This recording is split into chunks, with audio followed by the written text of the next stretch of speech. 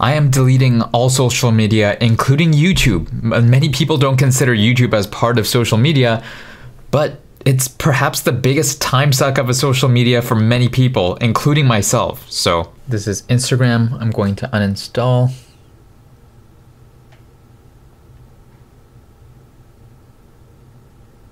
Why isn't it un- uninstalled? There we go. This is YouTube Studio. Uninstall this.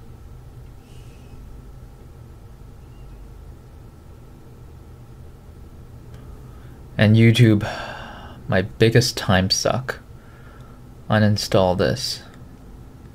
Oh shit, what? There's not an uninstall, you have to disable? Okay, so apparently on Android you cannot uninstall YouTube. This is a Samsung, so I will disable it, which is the next best thing I can do. Okay, YouTube is gone. And I don't use TikTok that often, but time to uninstall this too.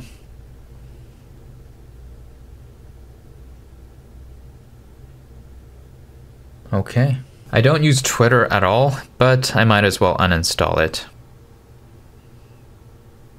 And the only time I use Facebook is for Facebook Marketplace, so I'll keep it for when I have to sell something. Otherwise, I don't use it socially. By the way, if you're wondering why my hand is so shaky, I have ET, Essential Tremor.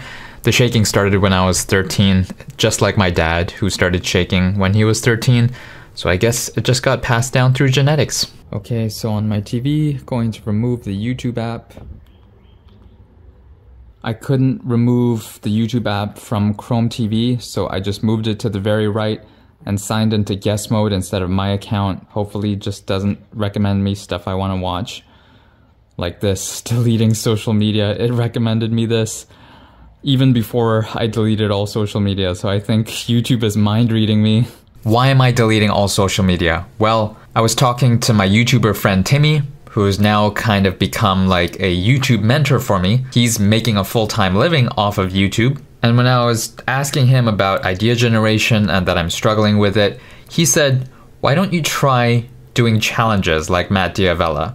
Matt D'Avella does these 30 day challenges of trying something out. And while I don't want to wait 30 days to make a video because I want to make videos more often than every 30 days, I thought the idea of doing a challenge was fantastic. I need to have something that I can talk about from my own experience. So in order to do that, I have to experience something first. And when thinking, what should I do a challenge on? The first thing that came loud and clear, and the only thing really, was quitting all forms of social media, including YouTube. So I'm going to do this for 10 days. I deleted everything, including TV. I'm not gonna watch it on TV either.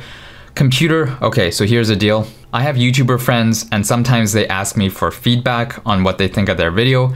In that case, I will watch that video. So the only place I have access to YouTube that I'm going to use is the computer. And the only time I'm allowed to watch YouTube is when someone's asking for feedback, one of my friends. I'm only allowed to watch that video and nothing else. So after 10 days of not using any social media, Instagram, TikTok, and YouTube, I will report back to you. So today is May 24th, 2024. So Monday, June 3rd will be 10 days. So that's when I'll post my video reporting back how it went with absolutely no social media. Granted, I'll probably still be watching some TV with my mom, but cutting out social media, I'm sure will be getting rid of a huge time suck. So I guess my schedule of uploading every two days is coming to an end right now. I will see you on June 3rd. 1% better every day, baby.